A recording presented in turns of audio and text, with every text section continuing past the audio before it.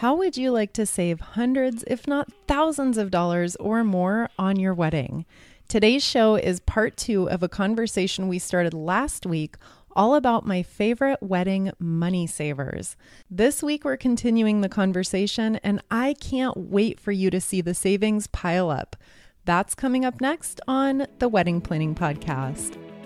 Hey there, it's Kara, and I believe that every engaged couple should enjoy the expertise of a down to earth, honest, and professional wedding planner.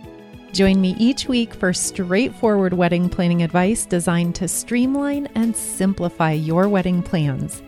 To learn more about taking the expense and overwhelm out of your wedding plans, visit weddingplanningpodcast.co slash vault. That's V A U L T. Enjoy the show. Hello there, and welcome to today's show. I hope you're enjoying a great week. I thought it would be really fun and a huge value bomb to roll together 10 of my favorite money saving opportunities and share them with you in two very detailed shows. This week is part two of a two part series, and we'll review numbers six through 10 of my favorite wedding money saving opportunities. For a complete rundown of the first five money savers, press pause on this episode and go back to last week whether your wedding budget is $5,000 or $50,000, I think everyone can agree that there's absolutely no good reason to spend extra money if there's a less expensive and equally good alternative. And a lot of times, I think there is. Put this money you save listening to these two episodes towards a student loan payoff, tuck it into a savings account for a rainy day, or invest it in your dream honeymoon. I'm 100% confident that we can trim at least $1,000 off your wedding budget with these easy money saving tips. And I would love to hear about the creative ways that you and your fiance are using to save money on your own wedding. Please always feel free to be in touch with me with your stories, your feedback, your suggestions for future shows. You can send me a DM on Instagram at Wedding Planning Podcast. And you can also find me via email by visiting weddingplanningpodcast.co slash contact.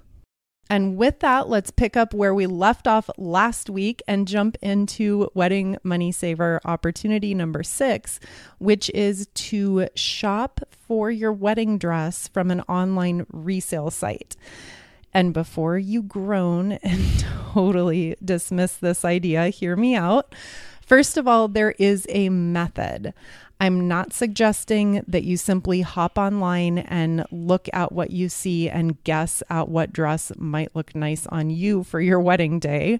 What you'll do if this is something that you're considering is go out to a couple of nationwide dress retailers or even boutiques and find a style and the size that fits you that you love take note of that style number and or name and then search a website like eBay or Craigslist over the coming months and see if you can get lucky with another bride who has worn that dress one time and you, my friend, could get an amazing deal on that same dress. Now, is this wedding money saving tip for everyone? Absolutely not. And again, I completely respect and appreciate that not everybody is into this idea. You will need to be on your toes if this is something you're willing to do. I would highly recommend that you ask a ton of questions of any seller who you're interacting with and do a lot of research. But this is a really great option, especially if you're dreaming of a designer dress that's simply out of your price range.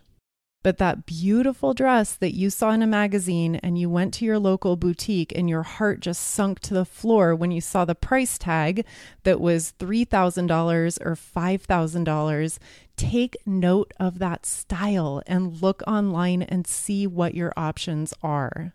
I'd say 95% of wedding dresses are worn one time and then tucked into a fancy box in the garage or the attic, and it sits there for the next 40 years. If there's an option to get the same exact dress, then I think it's worth considering. I personally went with a really simple wedding dress style that was on sale. It didn't cost more than a couple hundred dollars. This wasn't a huge priority on my wedding must have list, but if I had been in love with a dress that cost a couple thousands of dollars, I definitely would have considered this as an option. And next wedding money saver opportunity for today concerns your invitations for a stretch last year of a month or two, your very most asked question that came into me was whether or not it's okay to email your wedding invitations. Honestly, 10 years ago, when I was planning my own wedding, I would have cringed at the thought of sending wedding invites via an evite or an email. I've had lots of realizations over the past decade and today I have a very different point of view than I did 10 years ago. And I think that society has changed a lot in terms of technology over those past 10 years as well, which has a lot to do with it. But let's be real wedding invitations are really, really expensive. They are not great for the environment. I did a show on hosting a green wedding and trying to minimize the impact on the earth, and really quick touch on fun fact for you the number of wedding invitations that are sent out each year can cover the island of Manhattan. And that is a holy crap ton of paper going into landfills because, again, I can guarantee you that 95% of the people who open your wedding invitation might keep it out on the refrigerator for a few months, but at some point it ends up in the trash. Digital communication like email is way more acceptable with each passing year. And if you want to skip traditional wedding invitations and send out an invite via email or text or Facebook group or whatever other creative way that you can dream up, then you by all means have my support. I know everyone has an opinion on this. So you might be met with some raised eyebrows, especially by the older generations even spending $3 per invitation, and that's on the very low end, that can add up to $300 for a 100 or a 200 person wedding. And we're not even getting into the postage to send it and the postage to get the RSVP back. Tack on another dollar for that. So, if you feel that the majority of your guests would be receptive to a digital invitation, then by all means go for it. This is a great way to save a few hundred dollars at least. And really quickly on this point, do be sure to keep in mind those elderly guests or those who just simply refuse the internet. I think we all have a few of those within our family and our friends. I can think of a bunch of my family who would never respond to an online invitation of any sort. So do be sure to have a game plan in place for how you're going to reach those people, whether it's just a small number of printed invitations or a handwritten letter or however you would like to go about that. Here's a good money saving tip for you if you're deeper into the wedding plans and you're set on a more traditional food service for the main meal. Remember, last week we touched on some creative options for serving the wedding day meal. If that looks like a sit down dinner for you, then you can still save a bunch of money with your food by considering doing your appetizers and or the desserts on your own. So last week we highlighted an hors d'oeuvre and cocktail hour and also food trucks as options for feeding your wedding guests. If you want to keep the traditional sit down meal portion of the evening, then set up the appetizers and or the desserts with some help from your family and your friends. I'm dropping a few teasers in these money saving episodes, and here's another one. Stay tuned for an episode later this summer where we're going to create a sample appetizer menu. We're going to go shopping for all of the food and ingredients, and I'm going to break down everything you need to know about cost, quantities, timing, and making your cocktail hour appetizer spread come to life. And if we have fun doing it, we can do it for desserts too. So look forward to that show coming later this summer where we will go into deep dive detail on creating your own appetizer spread. If your caterer is going to be charging you five to ten dollars per person on the cocktail hour, then this is a great point to consider. Of course, you're going to spend some money buying the ingredients on your own, and of course, you're going to spend some time in getting everything organized and set up. But if you're looking to keep that bottom line as low as possible, then this is a great option for you. More and more couples are choosing to have a loved one officiate their wedding ceremony. However, chances are your pool of friends and family members are first timers, aka they have no clue what they're doing. Don't risk an underprepared, awkward wedding ceremony by your rookie loved one officiant. Solve weeks of panic and guesswork leading up to the wedding day with the Unboring Officiant Training Package created by a full time professional wedding officiant.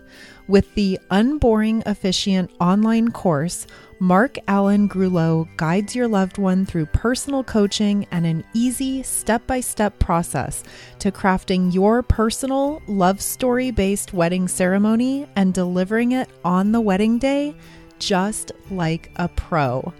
Unboring Officiant is filled with all the tools and templates your loved one will ever need. It's helped hundreds of new officiants all over the world, and it's completely risk free with a 100% satisfaction guarantee.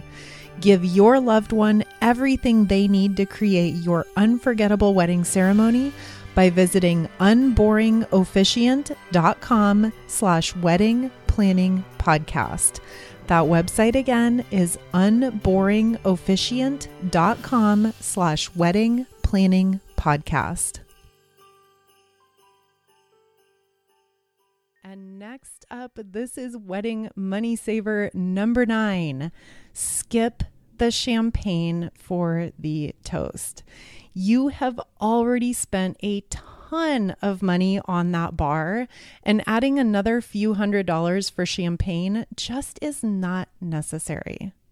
Unless you are a champagne lover and you cannot see your reception without it, your guests can toast with whatever drink they have in their hand. You're looking at about 20 bottles of champagne for 150 wedding guests. And depending on how fancy you get with that champagne, this is an extra 200 to 400 to on up from there expense that just is not necessary.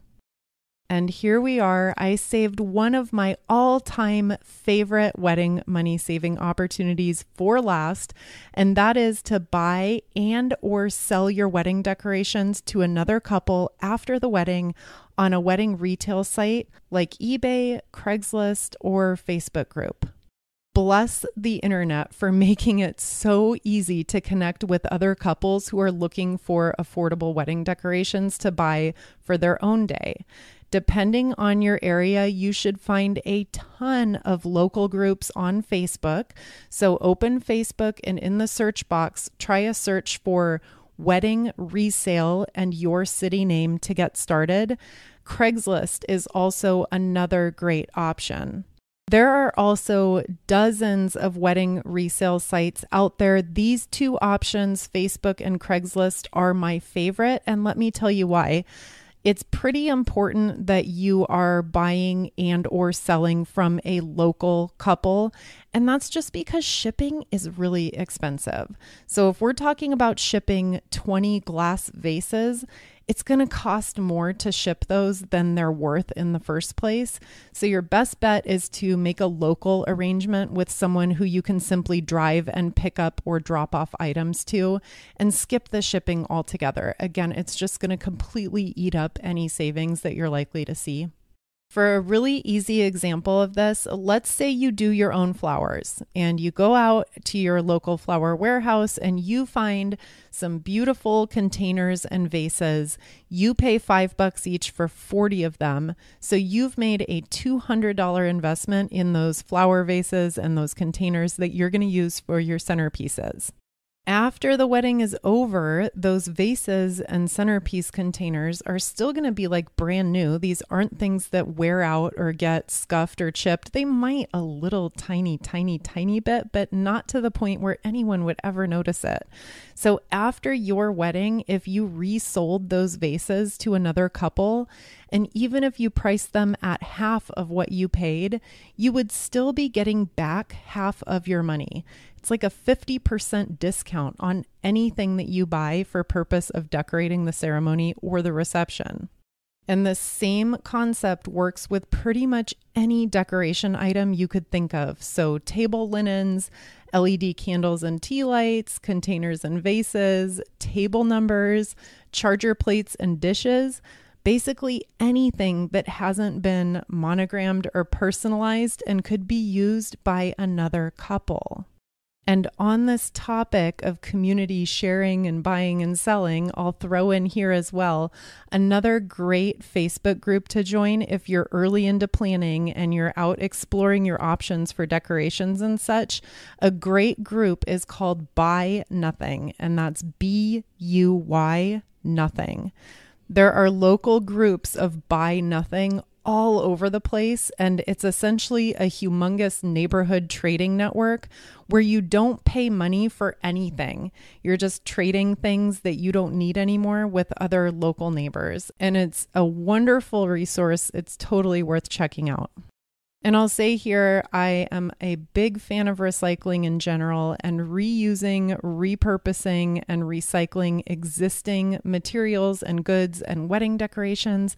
This is plain good common sense, and it's a way to take care of our beautiful environment and, of course, our beautiful planet. And with that, we have rounded out our wedding money saving series. I hope you found a few ideas to implement into your own wedding plans. And I can't wait to hear from you about the stories of what you plan to cut back on or cut out entirely alternatives that you've found, any money wedding saving stories that you would like to share, you can shoot me a DM on Instagram at Wedding Planning Podcast. And you can also find me via email, weddingplanningpodcast.co slash contact. Thank you again for being here. Thank you for letting me be a part of your wedding plans. It means the world to me. And I can't wait to talk again next week. Thank you so much for tuning in to this episode of the Wedding Planning Podcast. For a list of any links and resources called out in today's show, take a peek at the show notes in your podcast player whenever you have a hands free moment. You can also subscribe to receive convenient show recaps via email by visiting weddingplanningpodcast.co. While you're there, you can browse a library of all past episodes and view special offers from our sponsors. That website again is weddingplanningpodcast.co. Thank you so much for including me and the Wedding Planning Podcast in your wedding plans. And I'll talk to you again next week, same time, same place.